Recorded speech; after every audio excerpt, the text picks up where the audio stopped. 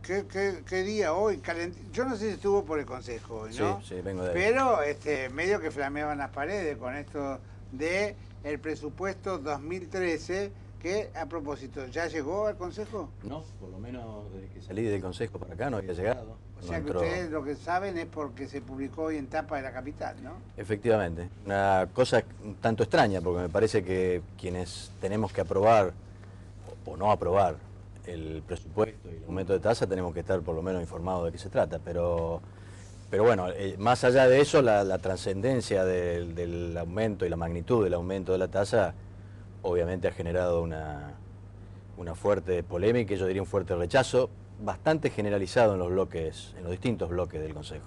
Eh, usted es un hombre muy prudente a la hora de, de- incluso de hacer crítica.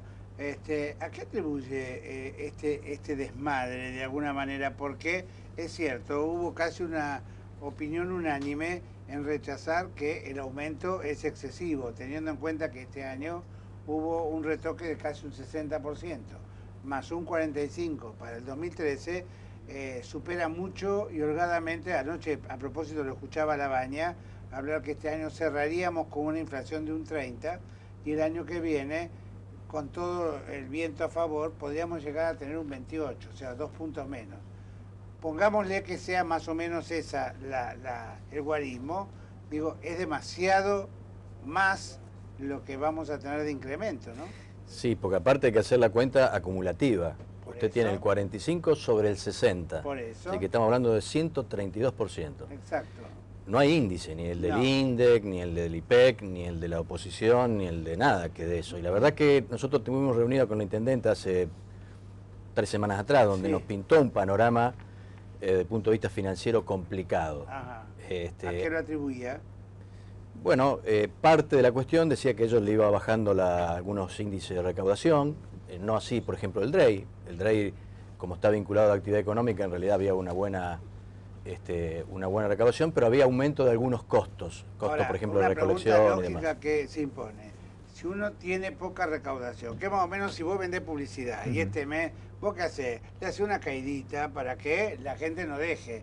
Digo, no hay ninguna posibilidad de buscar agudizar el ingenio entre todos, digo, porque esto es de alguna manera un problema de todos, ¿no? Sí, sí. Oposición, go- gobernante, ciudadanos, digo, para ver de qué manera podemos mejorar y beneficiarnos todos simultáneamente, porque por ejemplo, a lo mejor una moratoria, qué sé yo, Buenos Aires, cuando Scioli, eh, que, que las cosas no le van tan espléndidamente, bueno, da moratoria hasta para comprar una aspirina, le digo, ¿no? Sí, eh, yo digo que nunca hay ni, ni pensamiento único ni, ni camino único, siempre Sí. hay alternativas. Exacto. Lo que me da la impresión, por esto, por el hace poco el aumento de colectivos y demás, me da la impresión de que acá siempre se toma el camino relativamente más sencillo, que es trasladar el costo y bueno, A la gente. a la gente. Eh, pero eso también tiene un límite, porque la capacidad tributaria, incluso está estudiado, cuando la presión llega a un, límite, empieza a bajar, porque alguno deja de pagar. Entonces eso creo que hay que mirar con cuidado. Nosotros le planteamos alguna alternativa a la doctora Fein. Por ejemplo, Por ejemplo, creo que hay que ver cómo se reparte la erogación en salud de otra manera. Rosario, y eso hay que reconocerlo, es una de las pocas ciudades de la provincia de Santa Fe que soporta un gasto de salud importante, sí. Que hay que mantenerlo porque obviamente se está atendiendo a la gente. Ahora, eso se lleva un tercio del presupuesto. Eso hay que renegociar con el gobierno provincial y con el gobierno nacional, porque Rosario está atendiendo a ciudades de- del interior de la provincia y también del, del resto del país. Entonces, eh, si bien hay un aporte provincial, es un aporte menor, hay que rediscutir eso, porque, insisto, se lleva el 30% del presupuesto. Y otra cosa que vamos a tener que negociar como rosarinos, más allá de la bandería política, es la, cómo se reparte la coparticipación federal, nacional y provincial. Este, en su momento los municipios, de todo lo que recibe la provincia, recibían el, algo así como el 18,5%. Hoy estamos en el 13,5%, Ujú. todo el conjunto de municipios. Bueno, habrá que plantear esa discusión. Y que el hecho que el color político del gobierno municipal sea el mismo que el gobierno provincial debería ayudar a esa Sí. discusión. Ahora, lo llevo a un tema que usted eh, obviamente eh, es oposición, pero digo, si el gobierno central pagara esa, ese viejo reclamo que ya viene eh, presentado ante la Corte por Wiener, que hoy está en casi 15 mil millones. Digo, supongo que ayudaría. Si el gobierno de la provincia pidiera préstamos internacionales, como de pronto creo que hay uno a Kuwait de 100 millones de dólares, sí, se eh, que se firme ahora a fines de octubre, principio de noviembre, digo, son, somos eh, parte de una de las provincias más ricas de la Argentina con capacidad eh, de, contraer ese tipo de deudas.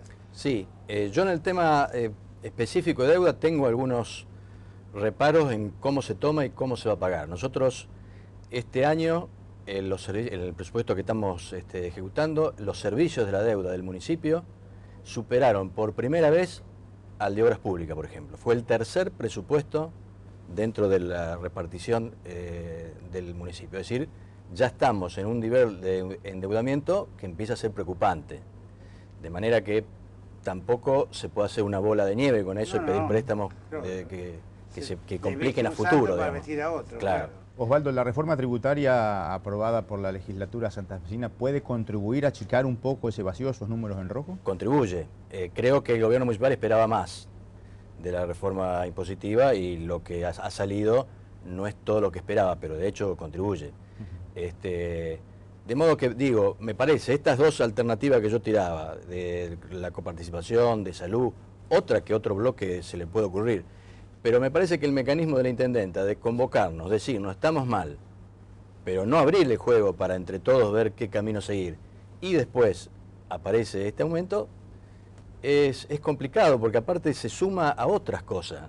Eh, ha habido, le decíamos recién, el aumento del colectivo, eh, también de, la provincia hay otros aumentos, eh, está todo el tema inflacionario dando vuelta, de, de, manera que creo que hay que ser prudente, porque la gente es... Este, eh, aguanta, contribuye, pero bueno, llega un punto. Y aparte otra cosa, no vemos los resultados. Porque ahora, por ejemplo, una de las justificaciones que le escuché al intendente es decir, bueno, pero esto va a ir para mejorar obras públicas, para cloacas. 93%. Está bien. El tema de las cloacas es una asignatura pendiente de la época de uh, Usanizaga. Claro. ¿Eh? Yo me acuerdo de el famoso, la famosa frase de un ex vicegobernador que hablaba de eh, terminar con el cordón cuneta. ¿Te acordás? Estuvo en Canal 3 cuando estábamos allá. Porque eso cambiaría un poco la óptica. Yo bueno, uno ve el esfuerzo de modificación de cosas, de un buen bacheo. Estamos, no podemos arreglar los baches.